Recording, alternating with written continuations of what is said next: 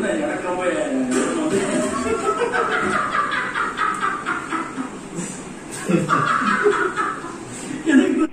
Hi friends இந்த வீடியோவில் நம்ம லேப்டாப் டு டிவி எப்படி கனெக்ட் பண்ணுறதுன்னு பார்க்க போகிறோம் அதுக்கு நம்மளுக்கு ஹெச்டிஎம்ஐ கேபிள் வேணும்.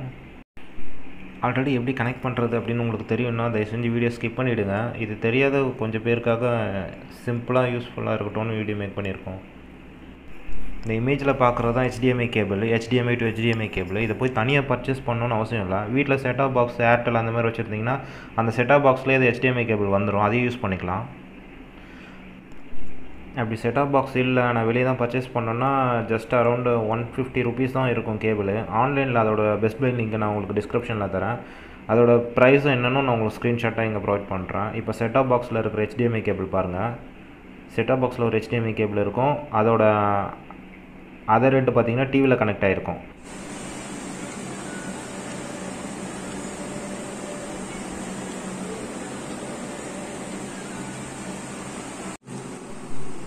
செட்டாப் பாக்ஸில் இருக்கிற எஸ்டிஎம்ஐ கேபிளை ரிமூவ் பண்ணிக்கலாம்.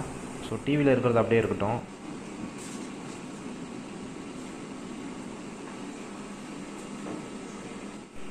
நெக்ஸ்ட் நீங்கள் டிவியோட ஹெச்டிஎம்ஐ கேபிளை வந்து கனெக்ஷன் பண்ணும்போது உங்களுக்கு நோ சிக்னல் தான் வரும். டிவியில் பார்த்துக்கோங்க. ஹெச்டிஎம்ஐ கேபிள் வந்து எதில் இருக்குன்னு பார்த்துக்கோங்க. போர்ட் ஒன்னா போர்ட் டூவான்னு பார்த்துக்கோங்க.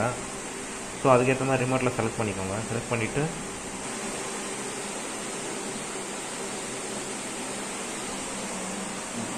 இங்கே ஹெச்டிஎம்ஐ கேபிள்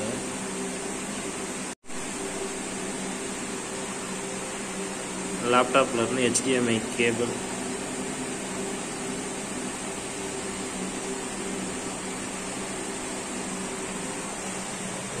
டிவியில் பேக் சைடு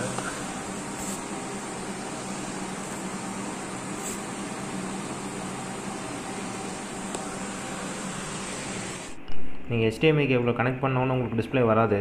ஸோ அதுக்கு சின்ன ஒரு செட்டிங்ஸ் ஒன்று பண்ணணும். செட்டிங்ஸ் பண்ணால் தான் உங்களுக்கு வந்து டிஸ்ப்ளே ஆகும். அதுக்கு முன்னாடி இது சிம்பிளாக ஒன்று பார்த்துட்டு வந்துடும் இந்த டாஸ்க் பார்க்கு ஏன் மேலே வந்திருக்குன்னு பாருங்கள் எனக்கு கீழே வந்து லேப்டாப்பில் பார்த்தீங்கன்னா கீழே வந்து ஃபுல்லாக இதுவாகிடுச்சு டிஸ்ப்ளே போயிடுச்சு.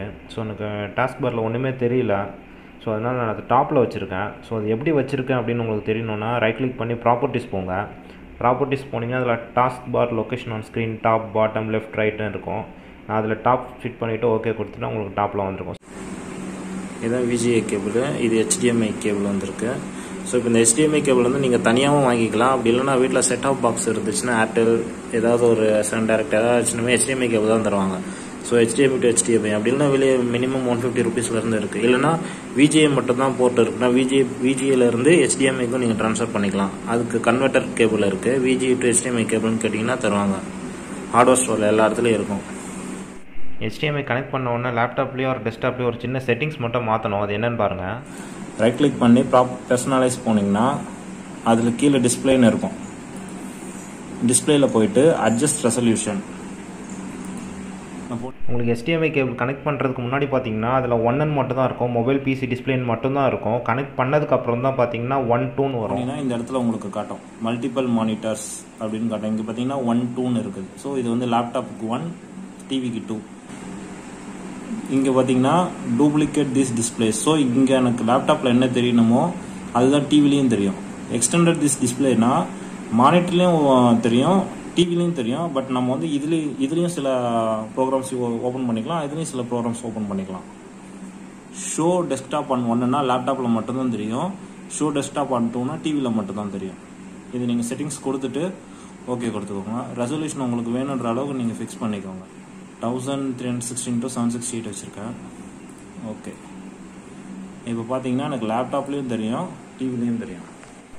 ஏன்னா நான் டூப்ளிகேட் தீஸ் டிஸ்பிளேன்னு வச்சுருக்கிறேன். அதனால தான் ரெண்டு இதுலேயும் ஒரே இது தெரியும். நெக்ஸ்ட் வந்து இப்போ ஒர்க் ஃப்ரம் ஹோமில் நீங்கள் ஒர்க் பண்ணுறீங்கன்னா உங்களுக்கு ஸ்பீக்கர்ஸ் தேவை கிடையாது. சப்போஸ் நீங்கள் ஏதாவது சாங்ஸ் பார்க்குறீங்க மூவிஸ் எதுவும் பார்க்குறீங்க அப்படின்னா